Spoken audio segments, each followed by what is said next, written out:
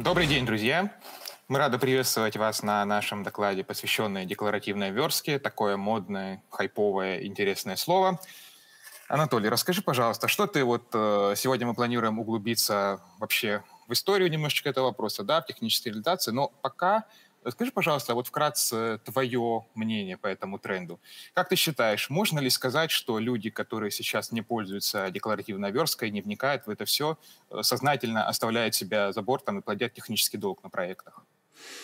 Всем привет. А, ну, наверное, сказать, что прям плодят технический долг э, сложно сейчас еще, потому что, ну, это небольшой спойлер к докладу, как раз это мы и рассмотрим там сегодня. Но в целом это выглядит так, как будто бы за этим будущее, и действительно, как минимум изучать это сейчас уже стоит. Применять не во всех кейсах, но знать и как-то хотя бы интересоваться этой темой уж точно стоит. И сегодня как раз-таки хороший доклад для того, чтобы чуть-чуть вникнуть в эту тему и посмотреть еще под разными углами. Да. Э, думаю, много э, интересного мы сегодня обсудим. Э, друзья, я напоминаю, что у нас есть чат, куда вы можете присылать свои вопросы. Пишите, мы по ходу доклада вряд ли успеем на них ответить. Нам предстоит очень большой объем информации осветить, но мы сможем обсудить это непосредственно либо после доклада, либо в дискуссионной зоне. Также вы можете оставить свой отзыв после завершения доклада. Итак, Анатолий, ну, здесь я еще, наверное, ремарочку сделаю, что если вы хотите задавать вопросы, запоминайте, пожалуйста, слайды. Слайдов много, 80 штук. Будьте готовы к тому, что информация прям плотничком будет, и просто там перещелкивать, а вот на тот слайд, на котором было. Лучше прям с номером слайда, они там в правом нижнем углу будут. И сразу задавайте вопросы тогда. Давай э, начнем. Расскажи пока про себя немножечко. Так, ну да, давай начинать как, тогда. Как ты вообще пришел к этой теме? А, про это... Как пришел? Да вижу, что есть тенденция, есть люди, которые используют, переходят, а обучаться этому, ну, сравнимо тому, чтобы научиться новому языку программирования, потому что подход совсем отличается от того, что привычно в оперативке, и определенная как-то кривая обучения у него есть. И вот Просто возник вопрос у нас в компании, а стоит ли вообще сейчас это использовать или делать как бы так по старинке? А, или все же вот изучить новое и делать, может быть, лучше или там эффективнее или быстрее. И вот, собственно, и вышла идея такая, так, есть подходы, а почему они такие модные, а, а в чем их отличие? Они же вроде в целом-то похожие, надо как-то, наверное, посмотреть на это вместе и решить, что что из этого стоит использовать, что нет. И, собственно, так родилась идея такой небольшой обзорной экскурсии, назовем это так, в подход, именно в мо- с мобильной точки зрения. Хорошо, спасибо. Так. Ну, давай, наверное, начинать, потому что времени много. Смолток у нас занимает тоже как бы часть доклада. Поэтому поехали. А, для, зачем этот доклад вообще? А, в первую очередь разобраться, что за декларативным UI будущее, хотя бы косвенно это понять, а, познакомиться ближе с внутренним устройством немножечко, дать перспективный взгляд на подходы, то есть немножечко их сравнить друг относительно друга и вообще подумать о том, рационально ли переходить на конкретное решение сейчас. Но главное, что понимаете, здесь в докладе не будет конкретных там практик применения, это больше такая пища для ума для того, чтобы понимать общие подходы. А, и, опять же, дисклеймер небольшой также, что это личное мое мнение, в чем-то я могу ошибаться, заблуждаться, что-то я мог не до конца прокопать, поэтому будьте готовы к этому тоже. А, немного о себе. В мобильной разработке я уже достаточно давно. Начинал как iOS-разработчик, поэтому э, именно в рамках сегодняшнего доклада не думайте, что я там такой вот весь э, завязанный именно на какую-то платформу. А, поймете, почему я это именно упоминаю. Ну и да, э, развиваю свою компанию MadBrains, э, являюсь техническим директором. Принимал участие в куче проектов, тут часть только из них представлена. А так, про самих MadBrains. Э, мы разрабатываем корпоративные мобильные решения, уже давно существуем достаточно для мобильной студии и используем самые современные подходы и технологии. Почему, собственно, и смотрим на всякие такие новые фишки, регулярно их изучаем и, скажем так, пытаемся использовать.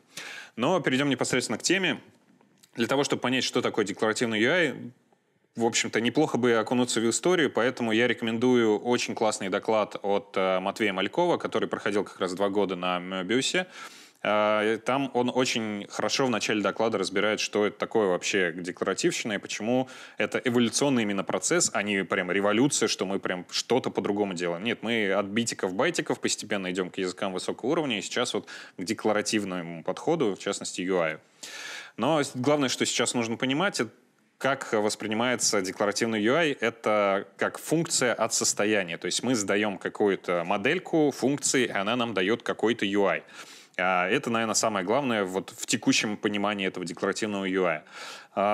Здесь сразу же стоит э, понимать, что э, это не идеальный мир, и у нас есть определенные там э, накладные расходы. И вот так вот в чистую оно работать не будет. Следовательно, нужно применять какие-то оптимизации все еще. То есть напрямую прям сразу из функции каждый раз из любого и малейшего изменения состояния делать новый, новый UI не получится. Ну а дальше уже про оптимизации тоже поговорим. А откуда она вообще пошла, такая мода на мобильную декларативщину? Это, наверное, стоит сказать в первую очередь э, спасибо React Native, который уже пора забывать на самом деле, но как дедушка такого декларативного UI в мобилке, его можно упомянуть. Появился он достаточно давно уже, и потом уже моду переняли вот Flutter, а, SwiftUI и Compose. Как видно, именно Compose был последним э, среди этого. А почему же декларативный UI это хорошо? В первую очередь, наверное, потому что он интуитивно понятный. Человеку даже, который не сильно знаком с программированием, но хотя бы немножко знает английский язык, уже можно примерно представить, как это будет отображаться. А, ну уж человеку, разбирающимся в программировании, вообще красота. А, проще управлять состоянием, так как мы явно их а, разделяем. Не нужно там а, у лейбла цвет или состояние настраивать отдельно. А, меньше кода. Ну, зависит от подхода, но в большинстве случаев все-таки меньше. Нет, нет как минимум локации, делокации и подобных вещей. А производительнее тут уже зависит от э, реализации. Ну и перейдем непосредственно к такой небольшой битве э, наших э, декларативных подходов, сравним их по нескольким критериям. А критерии будут следующие. Это легкость хода, то есть то, насколько человеку, не знакомому с этим подходом, в частности, начать на нем что-то делать я смотрел с точки зрения именно человека, приходящего только в мобильную разработку, но с ремаркой на то, что человеку, который уже писал там на iOS или на Android, будет чуть проще в той технологии, которая соответствует платформе. Удобство использования сравнимо, то, с чем мы сталкиваемся каждый день как программисты, внутреннюю реализацию посмотрим и немножечко затронем навигацию, анимации как важные части того, с чем мы тоже сталкиваемся частенько в мобильных приложениях. Кросс-платформенность, куда же без нее она тоже в последнее время важна. А за рамками доклада сразу же остаются производительность и проверка на столкновение с реальным миром. Я очень хотел это включить, но и уже 80 слайдов мы просто бы не успели. А это каждый из этих пунктов э, тянет на отдельный доклад даже, наверное, а не просто на дополнение. Сразу же небольшой спойлер. А, каждый в течение всего времени, пока я готовился к докладу, у меня вот эта вот картинка перед глазами вылезала, и, ну, как бы будьте готовы к тому, что будет немножечко трэшово в какой-то степени и интересно. А давайте сравним теперь легкость кода. Как установить, сделать первые шаги, документации, исходники. Понятное дело, что да, для тех, кто уже iOS Android пишет, будет чуть попроще. Swift UI ну, главное ограничение это то, что нужно установить Xcode, а дальше, ой, ну, нужна машина с macOS, и дальше устанавливаем Xcode и вперед. А, делать первые шаги тоже несложно, потому что есть хороший туториал от самих Apple. А, пошагово, с анимашками, построчно код там добавляется, класс. А вот с документацией уже не все так а, красиво. Есть статьи, но в основном про использование. Нет, самое главное, что нет объяснения базовых концепций. Для людей, которые хотят разобраться поглубже, это прям больно. Все базовые штуки выясняются чисто сообществом, методом экспериментов, либо сам выясняешь это все. Ну, как пример документации, то, что вот про View Composition там написано вот, вот три пунктика, и два из них это просто описание классов. Притом описание классов, как видите, не сильно большое. Здесь вчитываться слева в картинку не надо, это просто как пример того объема текста, который там упомянут. Дальше просто описание свойств и методов. Окей, Google, но разобраться хочется, и здесь я могу порекомендовать шикарнейшую книжку от Objects.io, Thinking in Swift, и они прям очень хорошо разобрались во всех базовых вещах чисто методом экспериментов. Ну а что у нас с исходниками? Ну, все наглядно показывается картинкой старой и цитатой старого мультика. А, Compose. А, установка тоже несложная. Скачиваем Android Studio, подключаем зависимости. Они все-таки идут отдельными библиотечками. Ну или можем создавать новый проект в Android Studio а, в свежей версии. Сделать первые шаги. Есть отличный Pathway от Google, в котором пошагово тоже с разными примерами, с, разными, там, с разным погружением в разные элементы разработки показывается в статьях, видео, в кодлабах. Тоже классная штука. Документация прекраснейшая. Множество статей, э, целый набор регулярно обновляемых примеров на гитхабе с открытыми исходниками кода, даже Slack сообщество, чтобы лично пообщаться. С исходниками тоже все прекрасно, они доступны, можно посмотреть э, буквально прям в IDE, когда вы используете уже не какие-то методы или классы. А что забавно, там иногда можно наткнуться на тудушки. То есть э, инструмент развивается, видно, что ребята, может быть, что-то не успевают и пытаются сделать его лучше. А Flutter с установкой для именно продуктовой разработки не так все просто. Нужно скачивать, устанавливать, настраивать. Э, Причем для мобильной разработки отдельно понадобится устанавливать и Android Studio, Xcode, еще и под для тех, кто с iOS не знаком, вообще какая-то дичь. Но вот э, в целом нужно иногда привыкать что-то делать в консоли. А, но, есть большое но. Можно просто зайти на Dartpad и сразу же начать писать. Притом э, независимо как-то там от э, платформы, от того, откуда вы заходите. Главное, чтобы интернет работал. Ну, для начала прям шикарнейше. Как сделать первые шаги, тоже классно. Здесь куча туториалов и на официальном сайте, и в сообществе уже. Самое главное, что здесь хочется выделить, это что есть специальные туториалы для пришедших с другой платформы. То есть можно прям вот не знаю, ты писал на iOS э, или на Android, посмотришь вот этот вот туториал, сразу найдешь общие концепции, очень круто и понятно, сразу ставит мозги на нужное место в сторону Flutter. А документация просто исчерпывающая, по-другому не скажешь. Она вся сделана так, чтобы как будто бы продать нам максимальную технологию, чтобы показать нам ее с лучших сторон.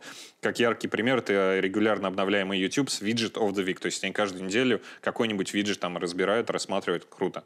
Исходники, все наглядно показывается именно такой картинкой. Все открыто, пожалуйста, используйте. Ну и как промежуточный результат, Swift UI хорош, но только в первоначальном э, туториале установка, ну, как-то дальше уже не очень. Compose простая установка, хорошая документация, начинать легко. Во Flutter немного сложностей с установкой, но все-таки это компенсируется тем, что можно прямо в браузере начинать.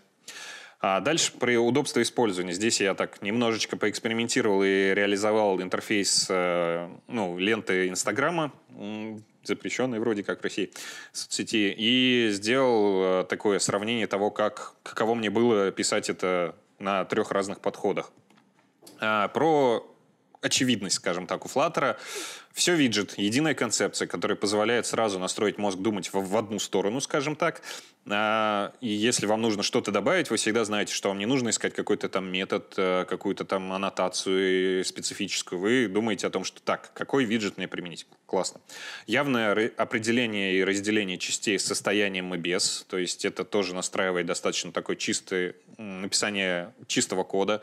А полноценное дерево виджетов, потому что все у нас э, делается за счет виджетов, и мы как бы добавляя какой-то функционал или какой-то там элемент э, верстки или то, то, как он будет лейаутиться, мы просто добавляем элемент в дерево. И это прям э, сильно хорошо видно, если привыкнуть к этому. Отсутствие магии, опять же, поэтому, потому что мы просто за счет виджетов это все добавляем, и они там э, структурируются в виде дерева.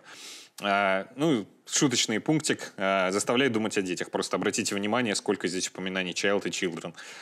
Ну и как минусы такого подхода, на самом деле, это большая вложенность. То есть дерево, получается, вообще не очевидное, если не знаком или там подсветка кода отключилась, фиг тут разберешься. А, и отсюда же вытекает, что ключевые виджеты закопаны в дереве потому что они за вот этими чайлдами, там, параметр, названиями параметров в функциях э, прячутся, и не всегда понятно, если просто по дереву бежать глазами, где какой виджет и как они друг друга вложены. Ну, дело привычки, но сейчас посмотрим, как в других фреймворках, понятно, почему я это упомянул, станет. А также про очевидность хотелось бы сравнить именно реализацию такого компонента, который используют, наверное, все мобильные разработчики. Это такого списка элементов, а, лист, там, э, table view, если iOS. Вот. А, если берем а, подход в лоб, то есть ищем компонент, который вот так и называется ListView в Flutter, а, все быстро и просто делается, но есть нюансы. Для того, чтобы как-то разделять, э, ну, допустим, первый виджет должен быть другого типа, как в Инстаграме Stories, то здесь уже придется напрямую управлять индексами. Не очень подход, есть подход получше, но, опять же, про него нужно знать. Это Custom Scroll View со сливерами, с ними разобраться опять же надо будет, поэтому тут немножечко в очевидности не очень хорошо все. Но дело привычки опять же. Композ, очевидность. Так как мы, ну, разработчики Compose решили сделать почему так, мы посмотрим чуть дальше. Именно все функциями то есть мы получаем так как бы чистую концепцию, что у нас в UI реально описываются функции от состояния. И это тоже настраивает на частоту. А модификаторы с безопасностью типизации, то есть мы не сможем использовать модификатор там, где его нельзя использовать. Это очень крутая фишка. А явное дерево с а, видимыми ключевыми элементами. Вот посмотрите здесь, мы уже можем, пробегаясь глазами, прям слева по столбику видеть, какие компоненты у нас используются. Здесь сразу выделяются они, там, а, столбец, строка, картинка, текст. Очень круто и удобно. И ответы на все можно найти в документации, даже вот просто кликнув, э, перейти к исходникам, посмотреть, как оно там устроено, очень сильно упрощает жизнь. Но вот из минусов здесь уже есть магия. Вот те же composable аннотации, которые на самом деле не аннотации, но это уже техническая реализация. Для нас можно считать, что аннотация так как выглядит так же. А какие-то нюансы с модификаторами, как они применяются, потому что модификаторов, а, например, а, положение или порядок модификаторов, он влияет на то, как они будут влиять на нашу view. Э, и это уже не совсем очевидно. А состояние можно определить где угодно. То есть, если во Flutter это у тебя отдельная, отдельный виджет, именно должен быть со стейтом, то здесь мы можем его определить где-то посреди там, нашей иерархии view, э, что может приводить к не очень, опять же, очевидным нюансам э, в реализации. А, ну и нет явного управления скопом рекомпозиции, то есть э, то, какая часть будет в нашей вьюшке рекомпозироваться, э, то есть перерисовываться, переделываться, а это зависит от внутренней реализации, и гугловские разработчики говорят, что, мол, не парьтесь, сделайте, как мы рекомендуем, и, и it just works, оно будет работать так, как должно. А, но плюс-минус они дают идеи того, как это должно работать. Там есть scope, column scope, row scope, вы можете увидеть на изображении. Но при этом из-за того, что column и row inline функции, они тоже будут перерисовываться. Такой нюанс, который нужно знать, если хотите в этом разобраться. А что касается листов, вообще все прекрасно, никаких заморочек, берем, делаем коллекцию, передаем ее в lazy column через items, и оно все отрисовывается, но при этом, если нужно какой-то уникальный элемент показать первым, как в данном контексте, используем еще одну функцию, где item, и показываем, что нам нужно. Прекрасно все работает, круто и очевидно. Swift UI. А, что у нас с очевидностью? Ну, компактно. Ключевые элементы видны в дереве. А, да, все, круто. А теперь про минусы. И их много, модификаторы. Вы просто обратите на них внимание. Если в композе они у нас в самом верху располагались непосредственно с тем виджет, с той композ функции, с тем элементом, на который мы его применяли, то здесь они могут улетать куда-то вниз. Если обратите внимание на хэштег, то вот внизу вот эти модификаторы, они применяются к нему. А если хэштег э, сотню страниц, это нужно будет долистать до самого низа, чтобы понять, как у нас хэштег меняется.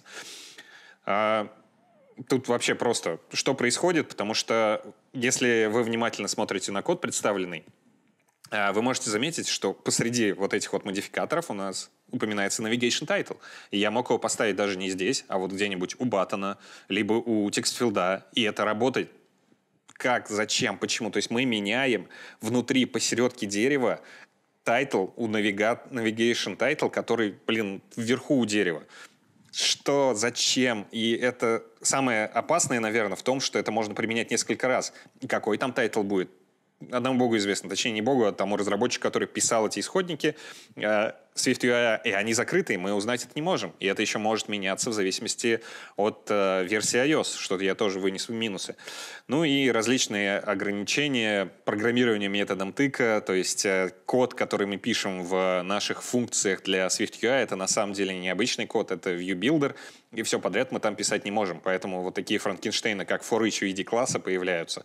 И if на самом деле не if, э, к этому мы вернемся еще. Ну и кастомные вьюхи через боль, но это уже немножко про применение, там ну, не мог не упомянуть. А вот теперь интересный моментик. Смотрите, э, вам могло показаться, что код не изменился справа. Он изменился.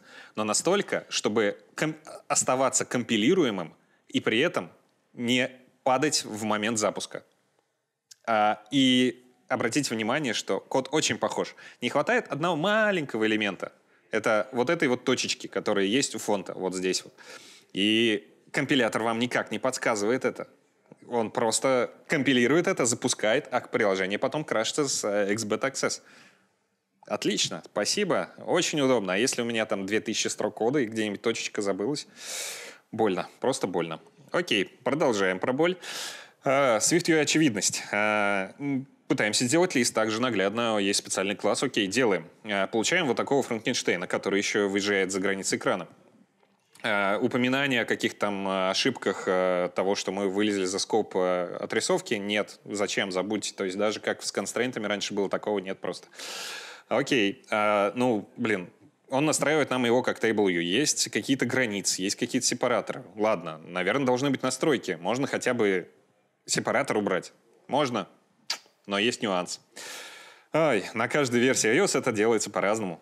Класс, спасибо. А, ну как бы, ладно, есть подходы, как всегда, обходные пути. Делаем вручную, не через использование листа, а scroll view с lazy стеком. Пожалуйста, все ручками. Работает, можно.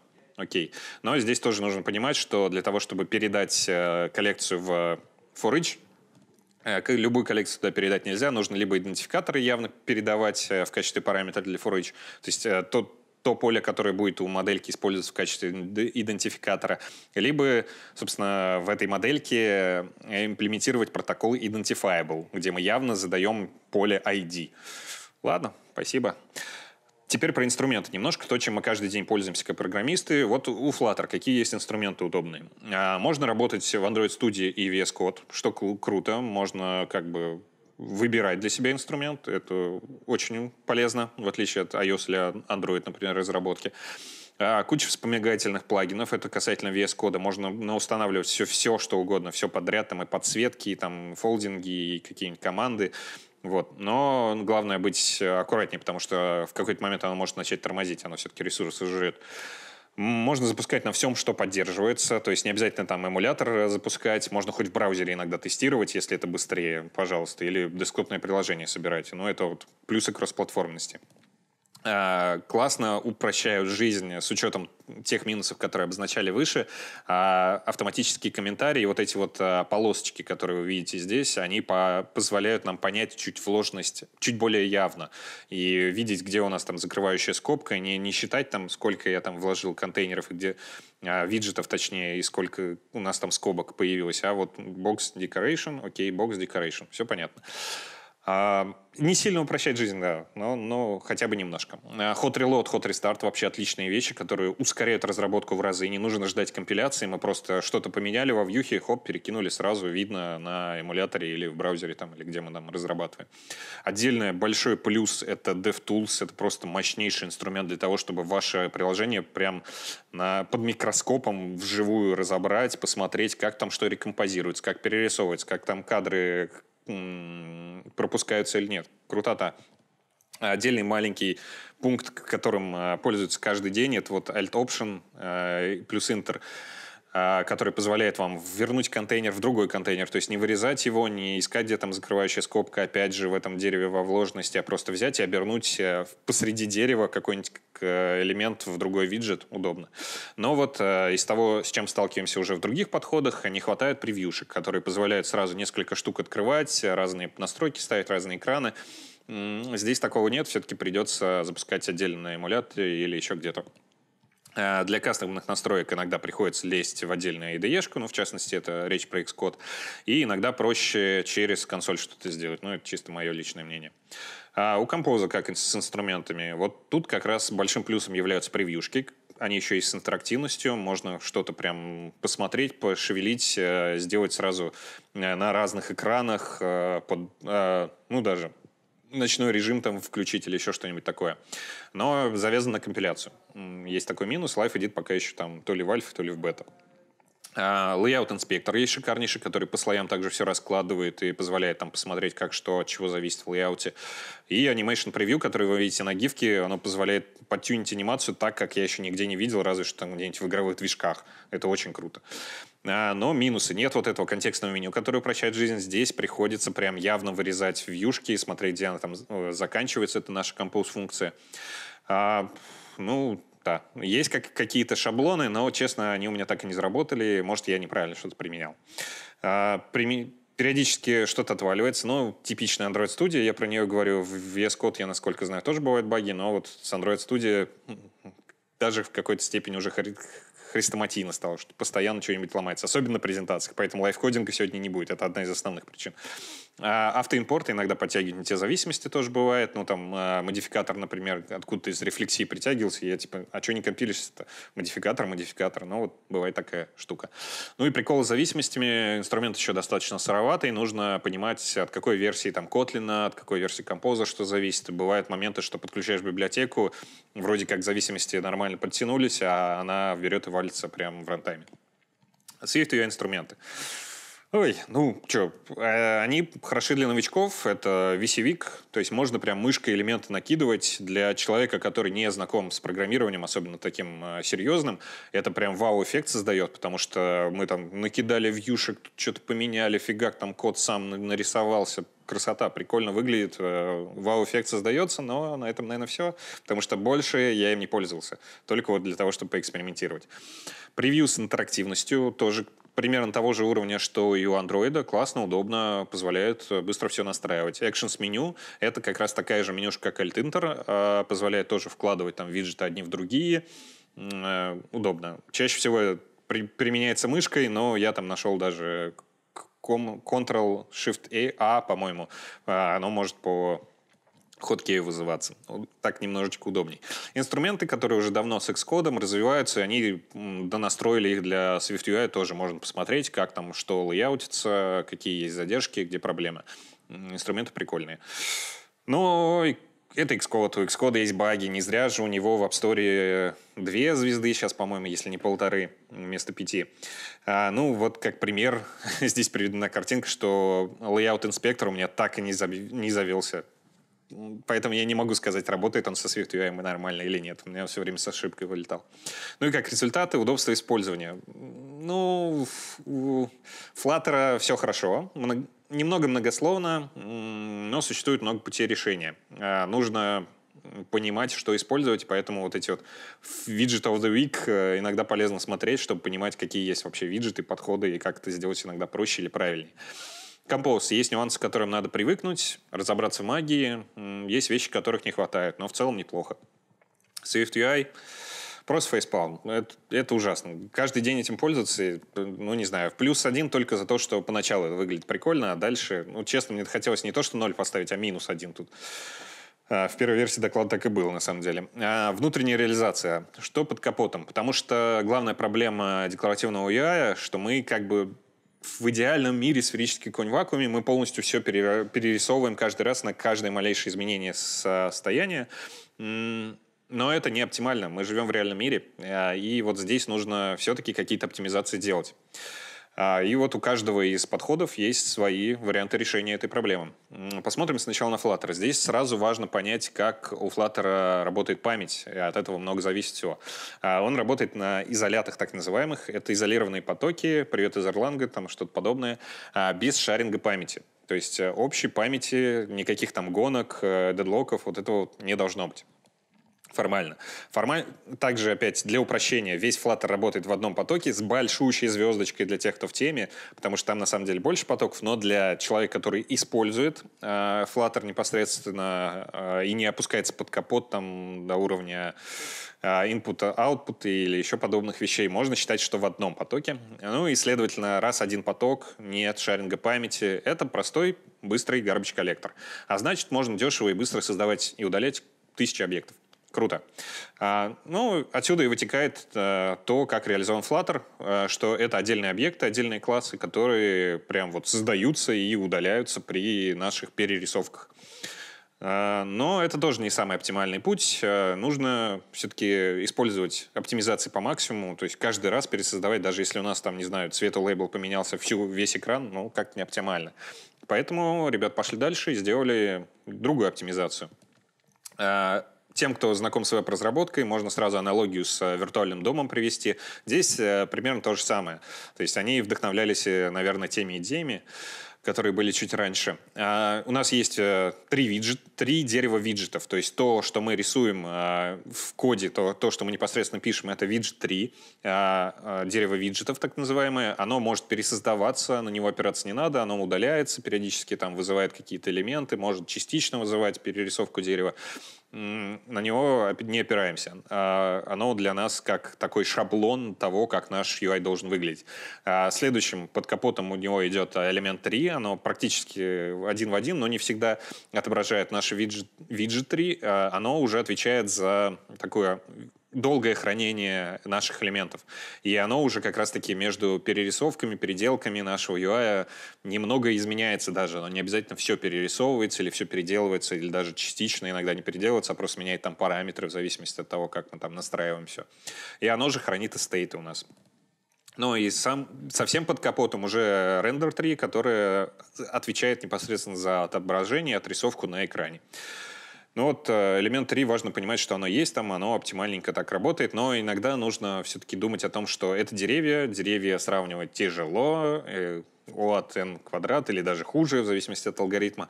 Поэтому здесь используется эвристический так называемый алгоритм, который идет по такому э, оптимистичному пути, что если у нас классы отличаются, ветки у дерева, все, выкидываем всю ветку, перерисовываем заново. Вот. Но чаще всего это работает э, оптимально, потому что мы не так часто меняем UI настолько значительно, чтобы сравнивать все дерево прям вот максимально оптимально. Ну, максимально точно, точнее. А Flutter. Доступ только к виджетам есть? На самом деле нет. Вот когда мы смотрели на код, мы видели там такую штуку, как build контекст. Это не что иное как раз-таки, как э, доступ к э, вот этому дереву элементов. Это прямым текстом написано в документации, что это вот те элементы, просто закрытые за абстрактным классом build контекста. То есть немножечко такое, чтобы лишнего не натыкали, но доступ к элементам у нас фактически есть. А, что у нас с точки зрения архитектуры? А, получается, что Flutter очень круто разделен на слои, а, и у него есть зависимые от платформы части, есть такие уже более-менее независимые, и мы, в отличие от того же React Native, полностью выкидываем весь UI и рисуем его заново. То есть ну, дайте нам доступ к канвасу, и Flutter нарисует все сам. Использует он для этого игровой движок Skia, как, в принципе, уже там и Compose, к чему придем дальше. Но это позволяет, дает как большой плюс, так и минус. Как среди плюсов полное управление каждым пикселем на экране позволяется делать э, все что угодно, там вроде как а, оптимиза... Если вы делаете хорошее приложение, гарантируется 60 кадров, а с недавней версии можно даже 120 кадров в секунду делать. То есть есть свои плюсы. Но минусы то, что полностью перерисовка, и часто iOS-разработчики поливались на то, что ой, там скролл не нативный, во Flutter, это заметно, ну, они улучшают это с каждым годом. Сейчас уже сильно это менее заметно, если вообще заметно. А, переходим к Compose. Что у нас с Compose? Как он внутри реализован под капотом? Это JVM, точнее, арт, а значит у нас сложный, тяжелый garbage коллектор. Следовательно, так просто создавать объекты, как Flutter, и удалять их мы не можем. Это будет тяжело. Ну, значит, идем по другому пути, подумали, наверное, разработчики, и пошли в сторону функций. То есть у нас просто вызываются функции, не создаются объекты. Э, они специальные, то есть не только пишутся с большой буквы, но еще и с вот такой вот аннотацией, которая на самом деле не аннотация, а больше близка к ключевому слову, тому, как работает, например, э, блин, опять забыл, э, асинхронность, ну, неважно, к, тому, как работает это в другом компоненте андроида. А и, следовательно, что мы получаем под капотом? Что у нас э, есть там где-то внутри, в кишках э, нашего э, композа э, вот такой вот unchecked cast к функции. То есть у нас, на самом деле, функция преобразуется к и добавляются к ней еще некоторые параметры. А преобразуется она примерно следующим образом. То есть у нас появляется некий параметр композер, который у нас э, расставляет старт, э, end и прокидывается во все прочие композ функции. Композеры — это такое тоже как э, представление виртуального дерева наших зависимостей. На самом деле там не дерево, про это сейчас поговорим. Но суть в том, что он, он тоже как бы оптимальнее сохраняет наше состояние и не перерисовывает, не перевызывает вот эти функции каждый раз. Именно композер за это отвечает. И как вариант, вот как хранится у нас а, наше состояние, вон вы видите функцию remember, mutable state of, оно также сохраняется вот в нашей некой такой структуре, какой сейчас посмотрим. А, а что у нас внутри, собственно? У нас не деревья здесь, а, точнее массив, а точнее гап-буфер. Те, кто либо ковырялся с исходниками композа, либо внезапно, может быть, делал текстовый редактор, должны знать, что это такое. Но это тоже достойно отдельного доклада, крутая штука. Самое главное, что из нее стоит вынести, это то, что получение, движение там элементов, а, добавление, удаление делается за едини... А, от единицы. А вот передвижение габ-буфера, то есть изменение дерева, ну, условного дерева, у нас происходит за N. Э, в данном случае это приводит к тому, что к тому, что нам нужно, что оно работает достаточно оптимально и быстро. А со стейтом, как я уже сказал, оно сохраняется в тот же габ-буфер э, за счет вот такой вот штуки. То есть вроде бы у нас функция, мы в этой функции что-то пишем, а у нас этот элемент внезапно становится как бы таким свойством, что ли, сохраняемым. И это как раз э, вот делается за счет вот этой функции remember, которая сохраняет нам вот в этот габ-буфер какой-то элемент. А часто можно увидеть э, именно вот такую конструкцию remember, mutable state of, но не, не суть критична. Здесь э, самое важное это remember, mutable state of это что-то подобное классу observable. Вот. Swift UI. Ну, что здесь мы можем сказать про внутреннюю реализацию? И есть возможность почувствовать себя ученым, а, ставящим эксперименты, так как исходники закрыты. Чем сообщество и занимается. Что нам известно из а, использования или документации? Что в Swift UI нет а, garbage коллектора, тут с памятью делают немножко по-другому. Используется подсчет ссылок, это так называемый ARC. В Vue представляются как структуры, value type с протоколом view, Окей. А место, где описывается дерево, у нас это вычислимое свойство этой самой структуры. И тип у этого свойства сам view. Какое это view? Окей. А что это за сам? Какое это ключевое слово? Давайте посмотрим, что это. А, в Swift есть ограничение такое, что типы с интерфейсами, ой, интерфейсы, точнее, с associated тайпами, то есть, считай, э, интерфейсы с дженериками, они не могут быть возвращаемыми типами. Ну, вот такое вот ограничение у языка.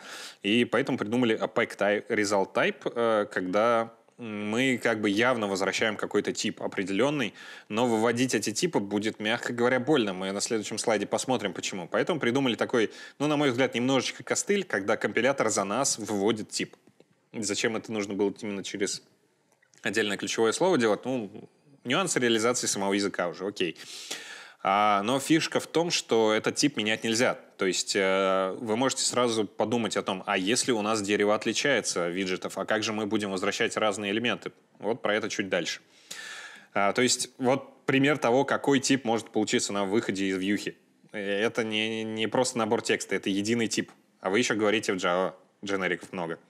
А, ну и что мы получаем в итоге-то? А, Swift UI, дерево элементов – те, те вьюхи, которые мы описываем. Вот представим, что у нас вот есть такая вот простенькая вьюха, контент view, и в итоге она превращается вот в такой вот тип. Он здесь разложен для наглядности постройщика. Э, что здесь важно заметить, что у нас есть условие, и оно возвращает как бы текст и текст. Ну окей, я говорил про одинаковые типы. Но также в условии мы могли вместо одного из текстов возвращать, например, button или текстфилд какой-нибудь, или еще что-либо, или другую вьюху это все равно бы работало, это все равно был бы один тип. Почему? Потому что есть маленькая хитрость.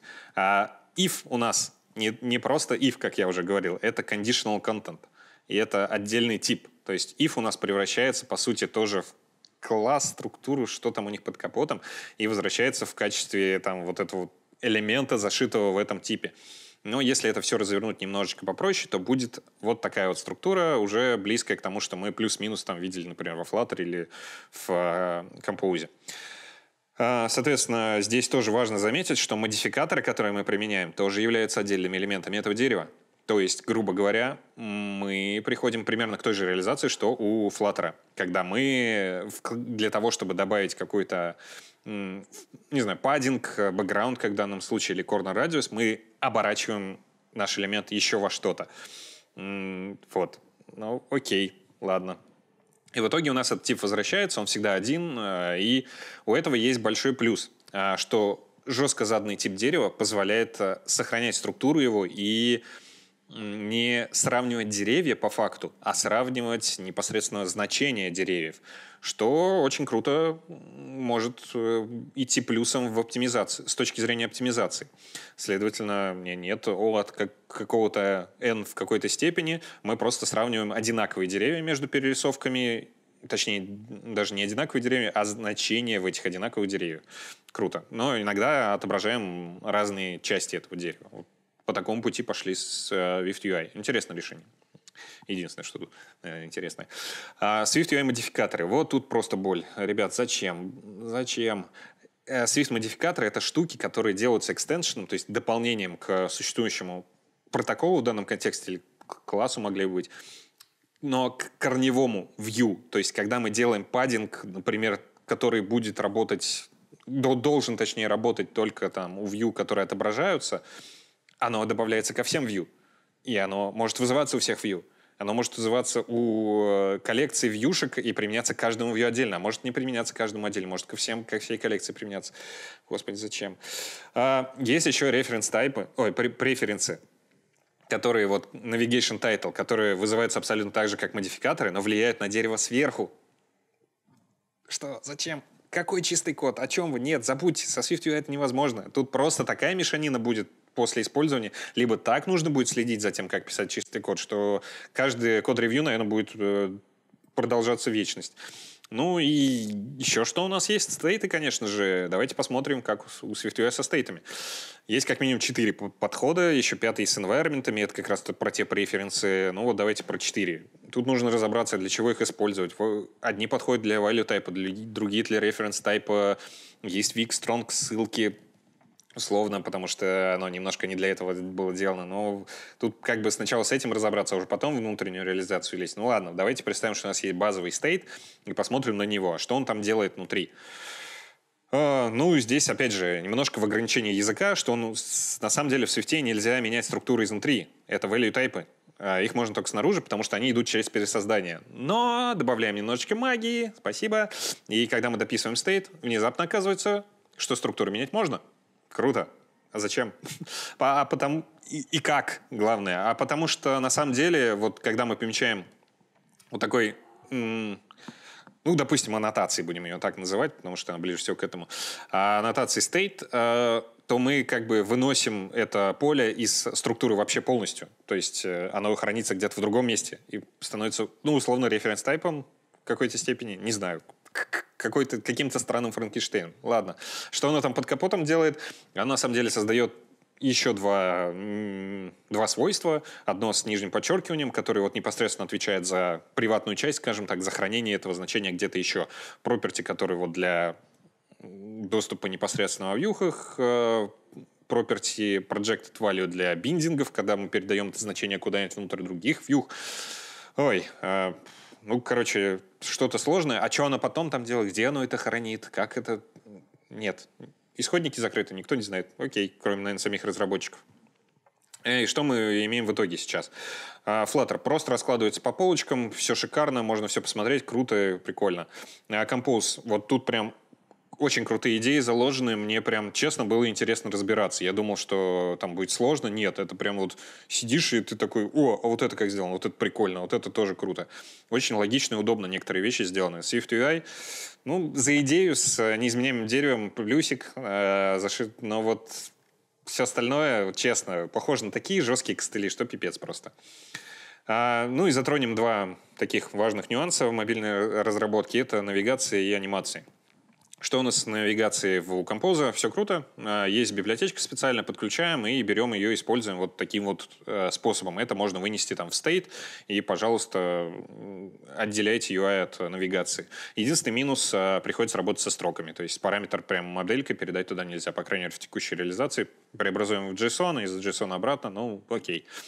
А Flutter, что у нас с навигацией? Есть два подхода, императивно, декларативно, при этом это не отдельные библиотечки, это все тот же навигатор. Со второй версии он как бы преобразовался, скажем так, императивно. Коротко, понятно, ясно, но размазано по UI.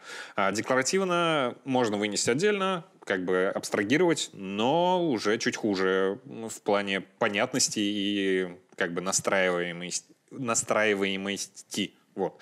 А, то есть с этим нужно разбираться. Есть библиотечки, которые это упрощают, но так как мы про чистые сейчас фреймворки говорим, то вот сложноватенько им бывает. Swift UI навигация. Ну, как бы, а что ждать? Размазано по UI-слою. Некоторые просто используют UI-кит, потому что вот с такой навигацией жить, кроме как в маленьких простых приложениях, невозможно.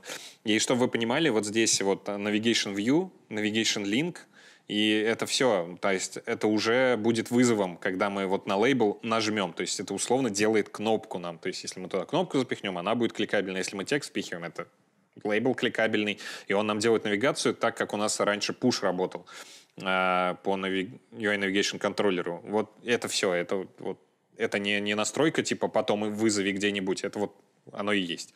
И прям вот так оно размазывается по UI. Ровным слоем, по-другому не скажешь. Ой, ужас, просто ужас. А, ну, собственно, что мы имеем? Что у SwiftUI навигация только для маленьких приложений, она формально есть, поэтому даже на один балл не тянет, но ноль совсем как-то ставить. А у Compose хорошо отделяется, но вот работа со строками, поэтому тоже минус один балл как-то за это слишком жестко, но поэтому два с половиной. И Flutter противно, просто, но в UI декларативно заморочено, приходится разбираться. Поэтому вот так. А что у нас с анимациями у Flutter? Есть э, много готовых элементов, которые прям вот берут э, и впихиваются, опять же, как виджет, какая неожиданность с Flutter. А, но их нужно знать, то есть э, это нужно почитать, типа, подходит или не подходит, там, ну, как бы можно разобраться. Но есть ручное управление, скажем так, как бы автоматическая коробка передач, как в машине, ручная коробка передач. Здесь все значительно сложнее. Нужно объявлять э, наш виджет как уже stateful, то есть состоянием, подключать там э, специальные ой, миксин, э, настраивать, настраивать контроллер и уже явно управлять состоянием и перерисовкой. То есть э, можно управлять вс- тончайшими нюансами анимации, но как бы много бойлерплейта. Иногда подходит, иногда не подходит, поэтому, ну, может быть сложно. А что у нас в композ с анимациями? Есть прям специальный гайд, это прямо из официальной документации картиночка, что мы должны как бы в каком случае использовать. То есть э, выбираем в зависимости от ситуации. А, тоже как бы много готово, круто, но есть один большой плюс, это то, что у нас есть вот такая штука, animate что-то as state. То есть, допустим, у нас была альфа, а, было свойство альфа с типом float, мы его там задавали от 0, 0,5 до единицы, просто добавляем animate float as state, вот даже не строку кода, парочку ключевых слов, и у нас работает анимации. Теперь у нас анимированная альфа. Все. Никаких там заморочек с контроллерами, еще с чем-то. И при этом мы управляем значением. Как бы, что и должно происходить при, ну, формально при управлении стейтом, там, как бы, при, при декларативном подходе. А Swift анимации. Опять же, а здесь цитату можно прочитать Криса Эндхофа, вот как раз автор той крутой книжки, которую я упоминал чуть ранее, что очень часто ее можно видеть вот в книге, что мы при вот таком-то или таком-то наталкивались на unexpected behavior, то есть на не, не, непонятное поведение, неопределенное. Ох, и вот здесь в качестве примера, смотрите, это то, что приводится в официальной документации, в туториале, только немножко измененное, для того, чтобы баг работал, скажем так. Для того, чтобы баг был он не должен работать. А у нас делается анимация достаточно просто, через модификаторы. Куда-то он втыкается опять посредине непонятно чего. Но самое интересное, вот видите, Animation Nil, он не просто так. Это такой способ отключить анимацию для первого изменения. То есть как работает анимашка вот это вот. А в SwiftUI получается, что мы делаем состояние изначальное в юхе, потом мы как-то его меняем, и говорим ему, анимируй нам его, он полностью его пересчитывает на другое состояние и, соответственно, делает экстраполяцию перехода вот от одного состояния к другому на вьюхах. Но если нам нужно какую-то часть вьюхи не анимировать, мы ее как, как бы отключаем animation nil ом. То есть вот такое вот костыльное решение, что пипец. Я не знаю, как по-другому про это сказать. Самое главное, это не всегда работает. В данном контексте мы отключили анимацию, и я вот точно не помню, то ли frame, то ли rotation effect в итоге не работает. Вот просто вот так вот. Хотя формально он должен. Ой, но зато есть э, такая крутая штука Matched Geometry Effect. Вот мне прям кажется, в SwiftUI есть какой-то один инженер, который им подкидывает хорошие идеи, они их применяют, а дальше уж ай, как получится. А Matched Effect — это штука, которая позволяет э, делать зависимые анимации одной вьюхи от другой, чтобы они там плавно перетекали, грубо говоря, друг к другу. И задумка клевая, реализуется тоже достаточно просто. Ну, вот, если кто сталкивался, Hero Animation, ну, похожая идея. Ну и как результаты промежуточные за анимацией. Ну вот чисто за вот этот матчинг Geometry Effect Safety UI полбалла. Uh, у композа просто шикарнейшие анимации, я круче пока еще не видел. А много готового, но руками делать все-таки посложнее. Ну, есть такой еще маленький нюанс, те, кто сталкивался с этим, поймут. А, прогрев шейдеров. Потому что он рисуется на игровом движке, есть такой нюанс, что для первый запуск анимации может подтормаживать, если она тяжелая, он как бы ее кэширует. Это обходится там сторонним инструментом, скажем так, что ее можно закэшировать JSON-чик, но вот есть такая проблема, как бы про нее нужно знать, поэтому минус балл. Ну и финалочка кроссплатформенность. Что у нас с ней? Apple устройство, вроде бы список большой, да, у Swift UI, но это по факту, если мы говорим про мобильную разработку, только iOS. Э, и при том даже на macOS, tvOS и watchOS придется это обмазывать все ифами. Не забывайте, что у вас код уже будет обмазан ифами в зависимости от версии. Типа какой iOS там 13 или 14 или 15. Тут еще и версии вот операционных систем добавляются. То есть писать универсальный код не получится. Не, не надо, не пытайтесь. Да и зачем, собственно. А, Compose.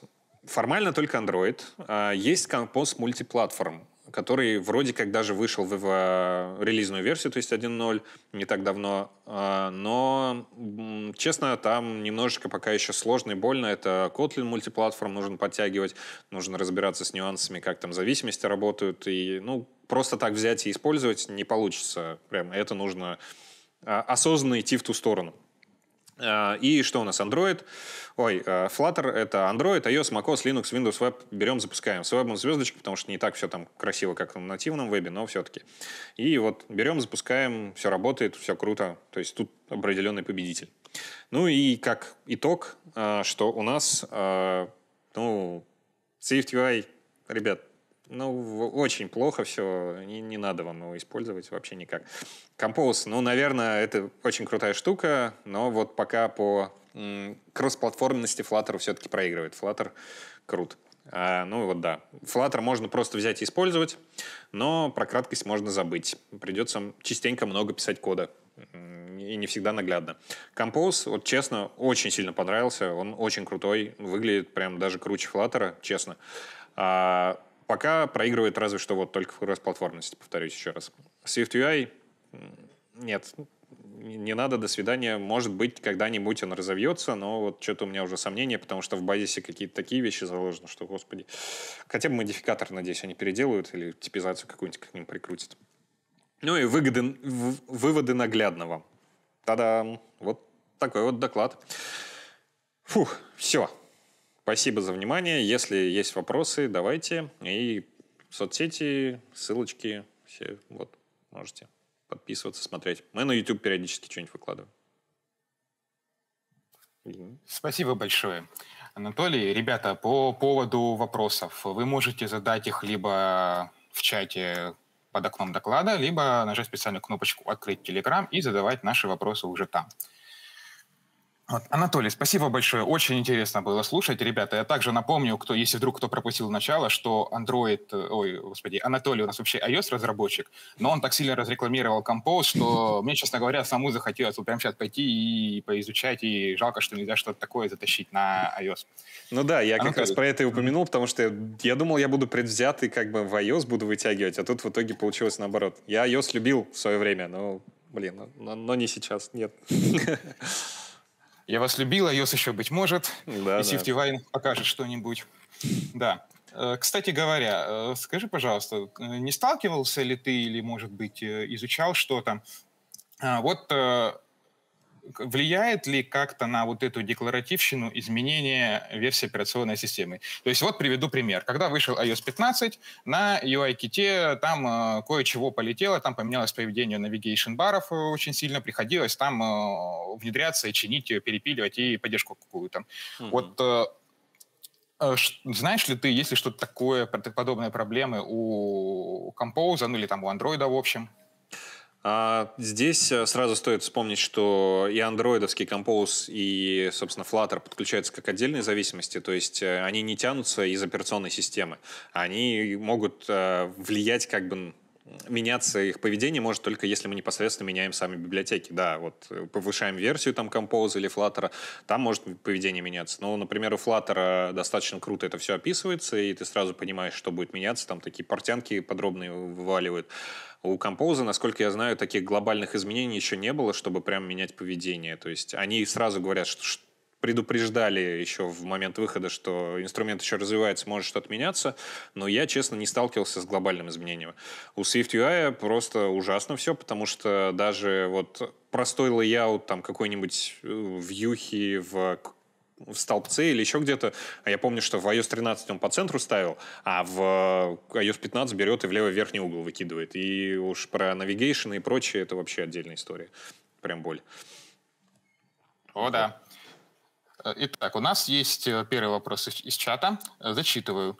По поводу документации Compose не хватает информации по безопасности. Есть ли какие-то гайды по этому, особенно при работе с Mutable State? Thread э, Safety, да, здесь э, интересный нюанс. Они говорят, что э, Compose в теории, уж не знаю, насколько это сейчас реализовано, но, по-моему, в теории может запускаться в параллель. То есть все функции нужно пытаться делать чистыми, без сайт-эффектов, чтобы гонок не было.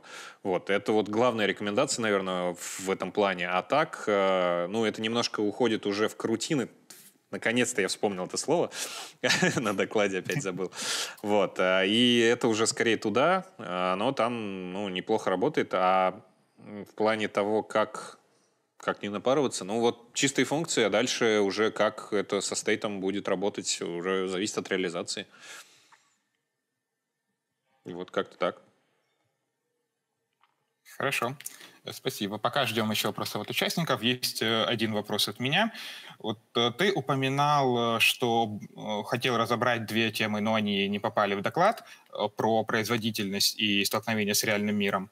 А можешь ли ты как-то анонсировать на будущее, стоит ли ждать нам от тебя на следующем Мобиусе доклад про эту историю? И, может быть, опять же, такой вот э, анонс интрига, да, может быть, ты что-то уже накопал сейчас, интересно, по этим темам? Да, само собой копал, например, про то, как э, это все встраивается, ну, то есть вот столкновение с реальным миром в первую очередь, потому что у нас уже есть много готовых приложений, и стоит ли втягивать, например, а, в существующие приложения вот эти новые подходы, и как это будет влиять на производительность. Маленький спойлер в композе есть, пока еще небольшие сложности.